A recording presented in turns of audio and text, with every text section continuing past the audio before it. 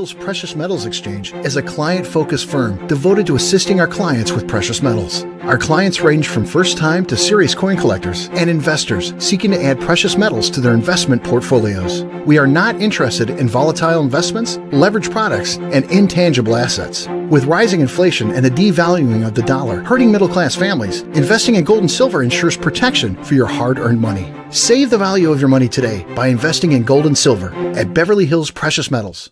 Good morning, everybody, depending on where you are in the world. Uh, for us, for Andrew and I, we're in California. It's around 10 a.m. And this is today, the last day of the year. You're like, no, it's not. It's the 29th of February. But again, if you've listened to my podcast, this is a leap year. Dies is 10. January is 11th month.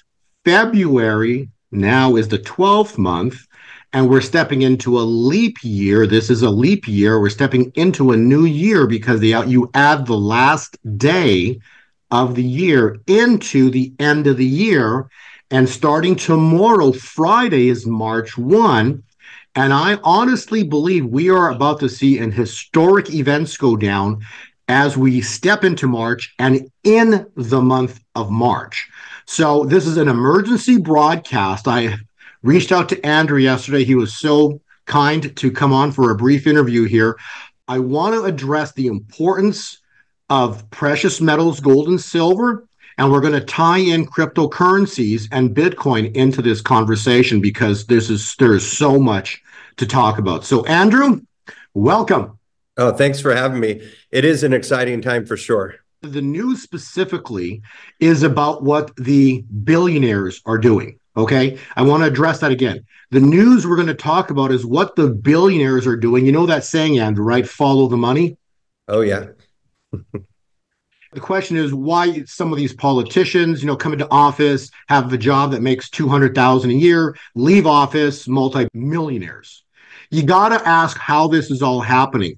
And what I want to express and have people understand is people work in shadows in the darkness. They have secret handshakes. And most importantly, they have secret information. That secret information can be described, you know, can be discussed as foreknowledge of what's about to happen. So Andrew and I have been talking about precious metals for a long time. Andrew and I also know a decent amount about cryptocurrencies and Bitcoin. And so, Andrew, what have you seen happen with Bitcoin starting this past Monday, uh, February 26th? Oh, Bitcoin's up about 13,000 for the week. And uh, even if you go back to the end of last year, at the end of last year, it was at, um, geez, I want to say about um, 44,000. So it's a, a, pretty good, it's having a pretty good year up about 50%. Right. And you have to understand what it did in the past 20 days. It went up roughly $23,000. So back all the way in 2022, uh, November of 2022, we called the bottom at 14,000. The bottom came in at 14,000. It went up, went sideways for a decent amount. And in just this month, 21 days of trading, it went up $23,000. And just this three days, starting Monday, Tuesday, and Wednesday, first three days of this week, it went up $13,000. My charts are pointing to this is only a warm up. This is going to go crazy. So, my question to you, Andrew, why would people who have large amounts of money be buying Bitcoin? They're, they're trying to uh, they're trying to get in on really the uh, the BRICS trade. So the BRICS trade that's going to ultimately move gold upward. Yeah, the definition for what you're describing is called front running a trade. So what's front running a trade? If you have foreknowledge of something that's going to happen, so it's called insider trading foreknowledge. Okay. The definition, if you pull it up, is the practice of trading stocks or any other financial asset or instrument to capitalize on advanced insider non public knowledge of a large pending future event or transaction that is about to affect the price of something substantially. So, what have we been talking about? We've been talking what? About the fall and the collapse of the US dollar. I'm going to play a few clips in a second here, but I want to bring this chart up and have the viewers understand what we're looking at here because this is kind of crazy. What do you see? You see Bezos, Jamie Dimon, Zuckerberg, the Walton family.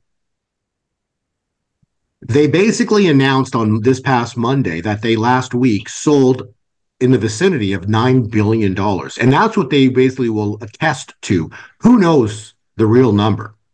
So you'll see last week they unloaded all the Bitcoin. The interesting part was it was actually the start of February on the 2nd. There was an article posted that that Bezos is going to start unloading stocks. He started unloading, and you'll notice right from February 2nd, this little black line here, February 2nd, look what happened. Bitcoin started rising. It broke through the alt. It bro- broke through a high that it was resistance here in January, busted through it.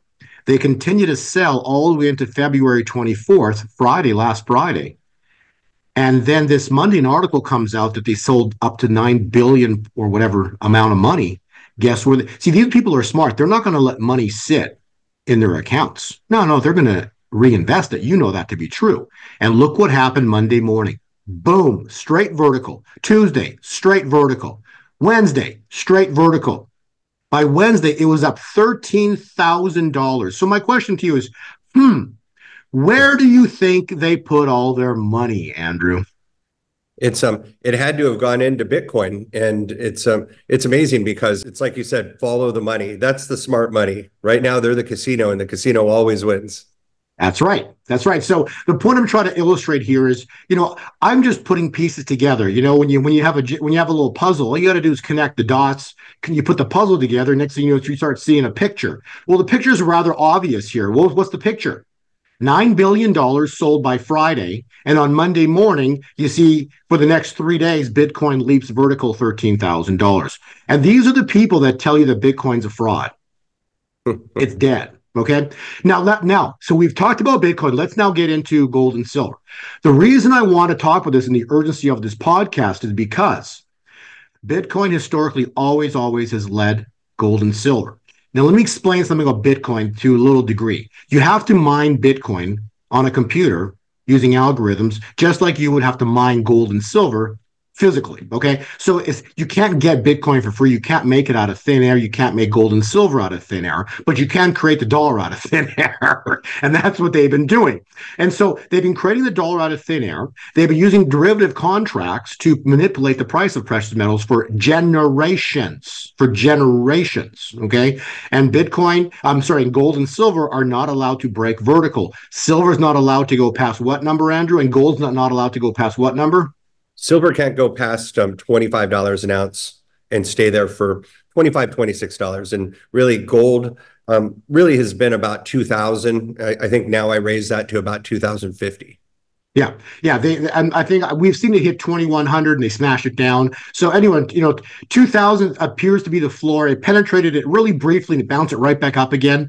Uh, but it's like it bounces around, you know, in the 21 to 2000 range. And so they have this algorithm that basically the banks sell from one another every single month, and they just will not let the price escalate. Why? Because they use their U.S. dollar to buy and pay off anybody and everything back to follow the money. Okay. So the money, as you know, their love of money is the root of all evil. This is biblical, what we're watching. We're, we're expected to watch the fall of Mystery Babylon. And so when Babylon falls, their money falls.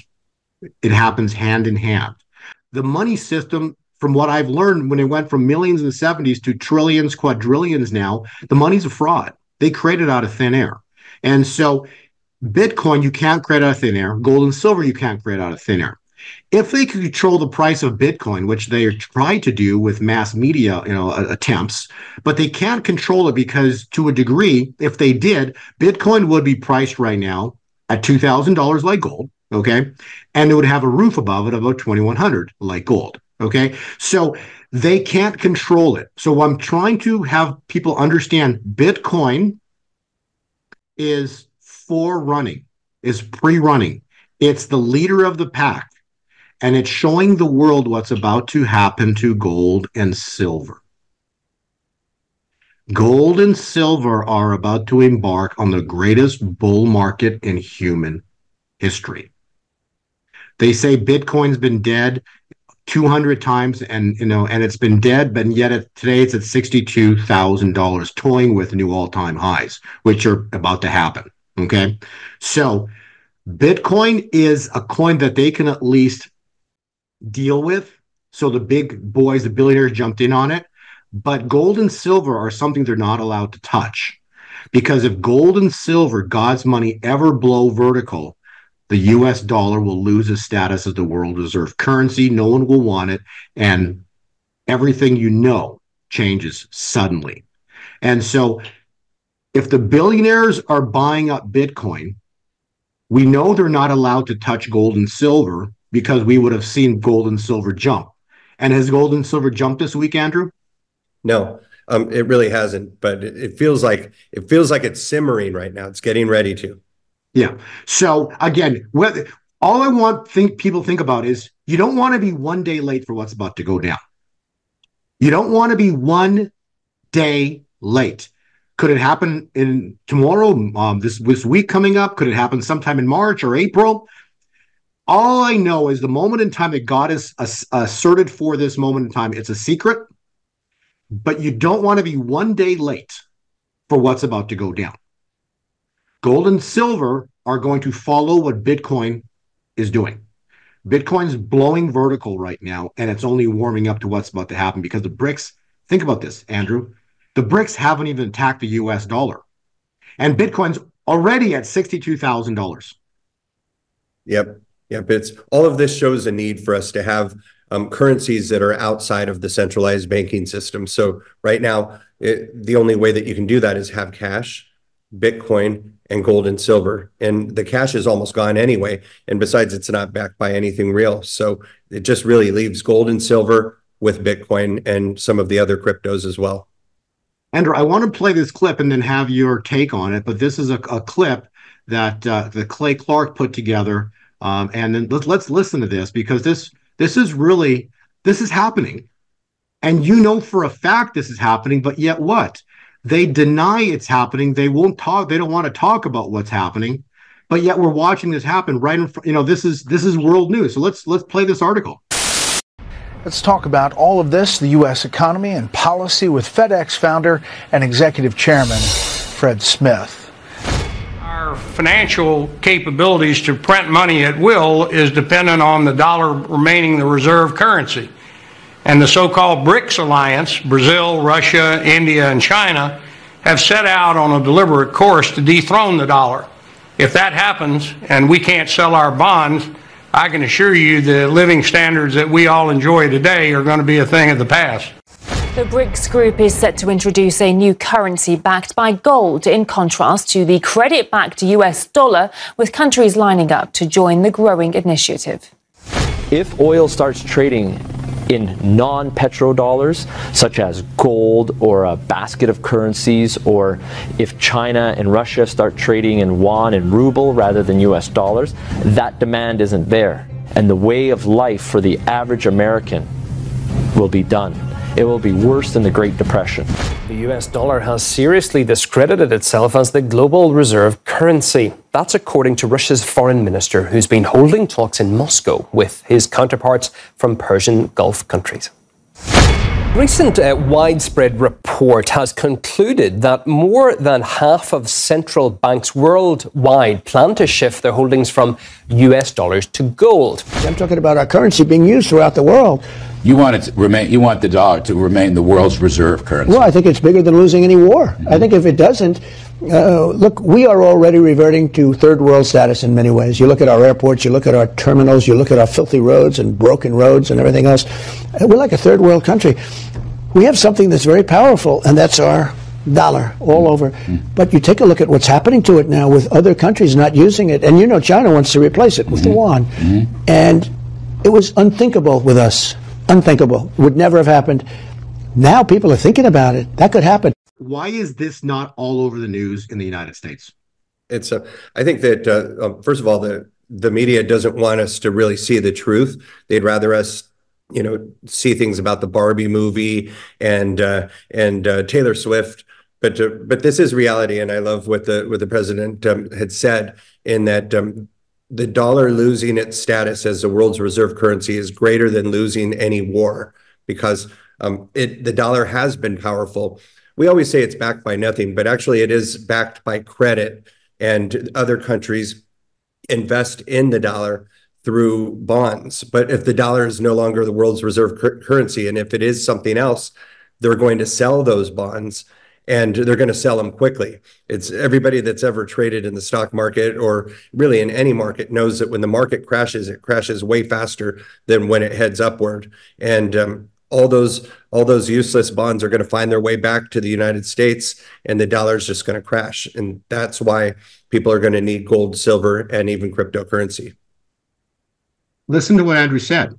He says it takes a it's it's the crash is quick relative to the rise. So it might take two, three years for the markets to rise. Yet when it, if the dollar crashes, it could wipe out the three years in two or three days. Yep. Yep. We're stepping into a biblical event. That's what's coming. Now you brought up 45, brought up the word war. You brought up the word war. You have to understand Saddam Hussein, Gaddafi, they tried to sell oil in other denominations other than the US dollar. And the Saudi contract is very clear.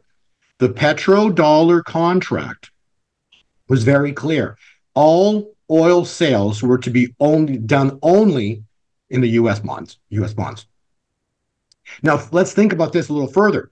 Nixon took us off the gold standard in 71. And in, by June of 74, the petrodollar contract was signed with Saudi Arabia. 50 years is this June. Furthermore, what I want to add is when we went off the gold standard, our money turned into what's called fiat, F I A T. Please Google this, learn about it. Fiat fiat money is money that's basically backed by nothing but faith and confidence in a government. Okay. Then to add value to the US dollar, we did sign the petro contract with Saudi Arabia. So now the dollar was at least backed by oil. So that gave it some credence or some values, but is at least backed by a commodity. Not it wasn't backed by God's money, but it was backed by a commodity.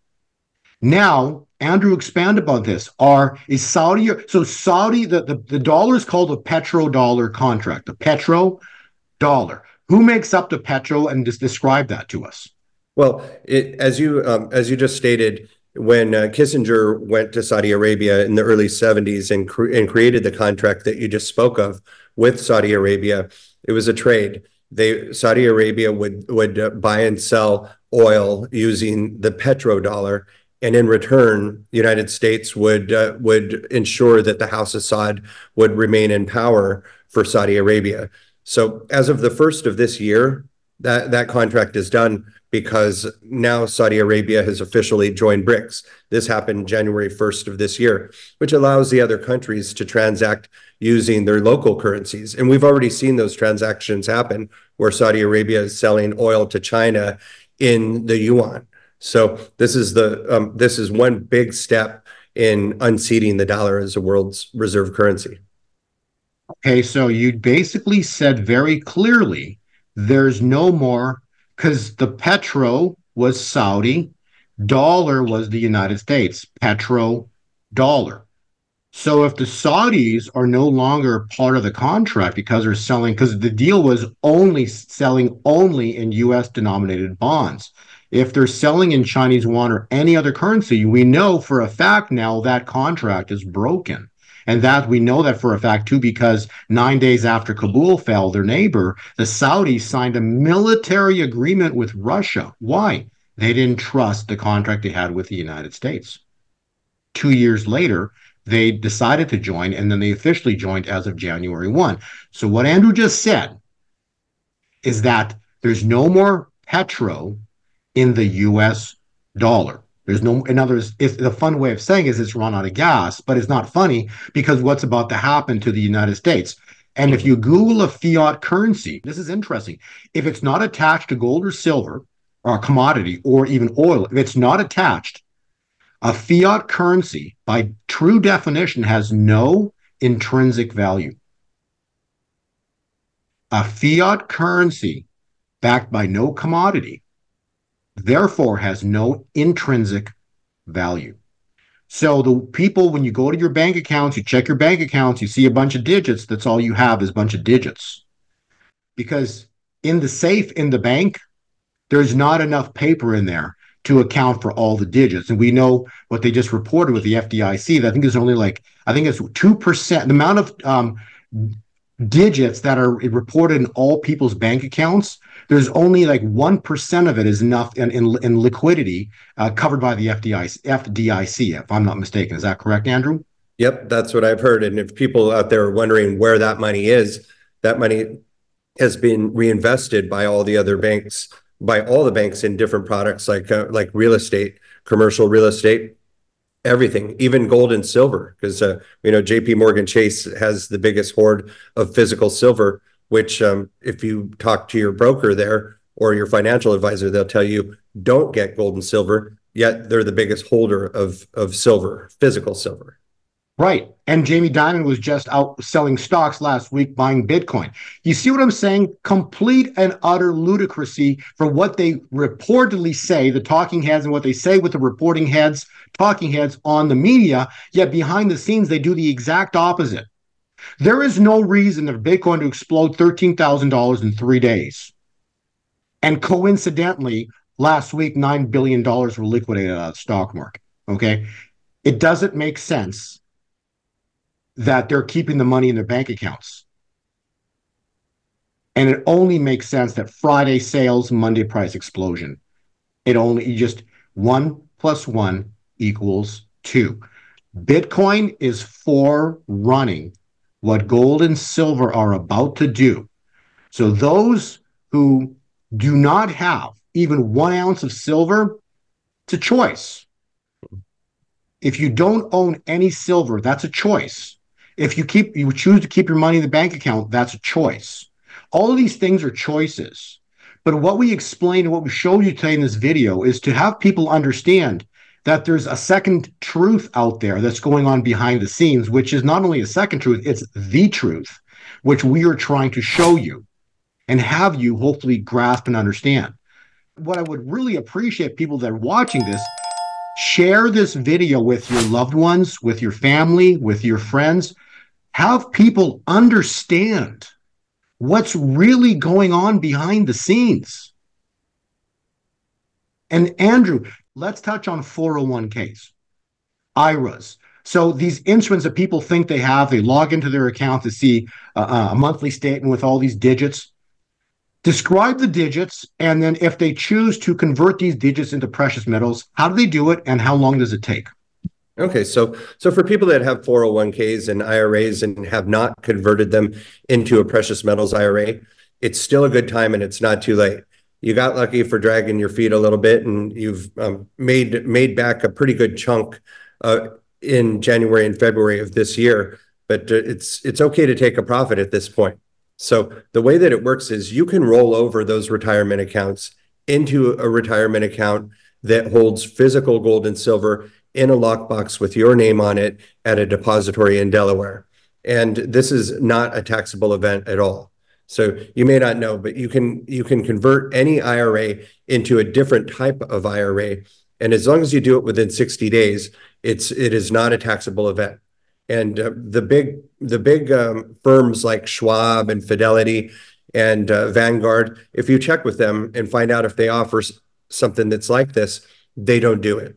They they do not recommend physical gold and silver. So it, you would need to reach out to a company like us to do it. And the process is um, very simple. We have an account open with with your name on it for a precious metals IRA, usually within about two or three days. And then the last step is just to have it fund.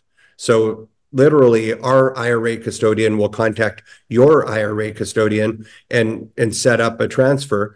And once that transfer makes it into your new account, with our IRA custodian, then you have cash in there where you're able to invest into physical gold and silver. We call you and we talk about what percentage of gold, versus silver that you want in there, and it just sits there. And it's a it's a good hedge for any other investments that you have. So when when if you still have stocks or if you um, have real estate, when uh, when real estate is doing great, typically uh, gold and silver are going to be steady. When your other investments are not doing well, then gold and silver are going to rise in value.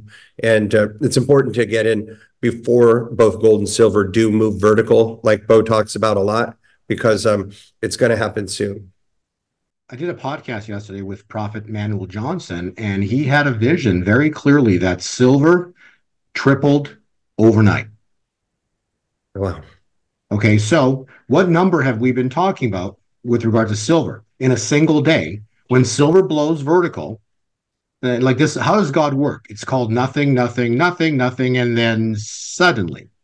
This is going to happen at some point. And again, we don't want to be one day late for what's going to go down.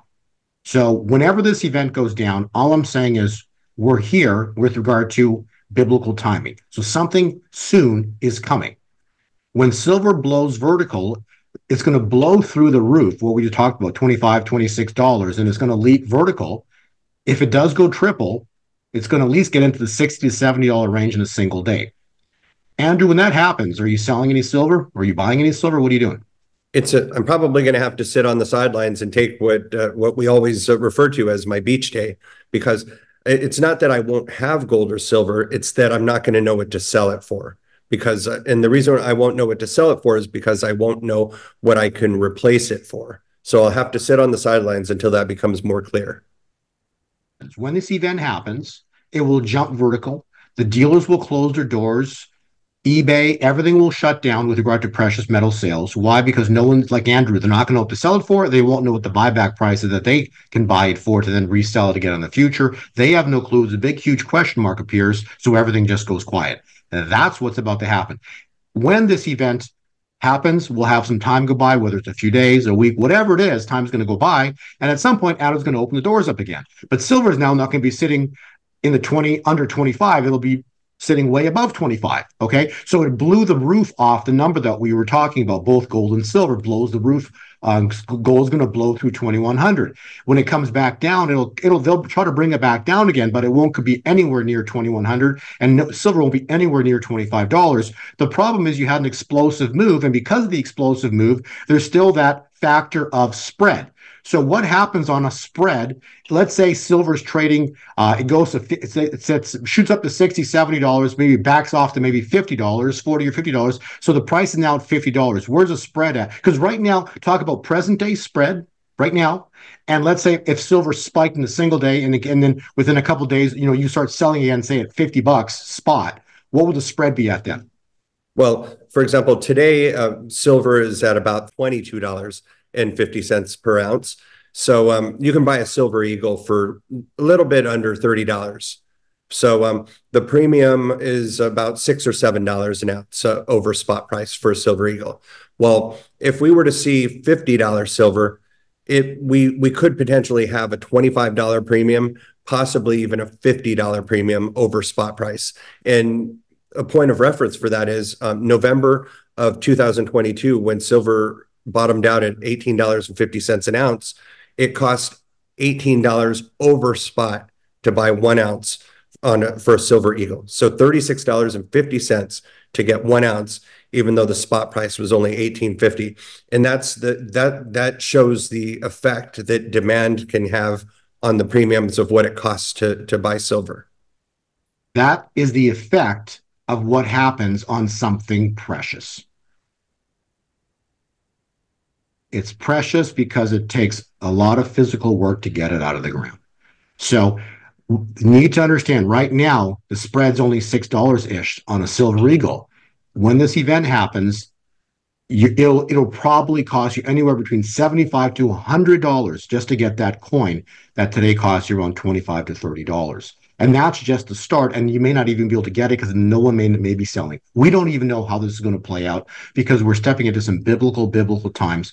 We've got the BRICS about to attack the dollar. We don't know the day or the hour that's going to go down, but this is a real thing. This is real. We played the video. The BRICS are all come together as one. The prophecy as the brothers of Goliath, which are the BRICS, stand in glee. We will cripple you. The U is the United States. This event's about to go down. It's going to happen in a single day. We don't know the day or the hour. We're stepping into a new year based on the true calendar, the Roman calendar that they've been trying to deceive us with. But there are two calendars.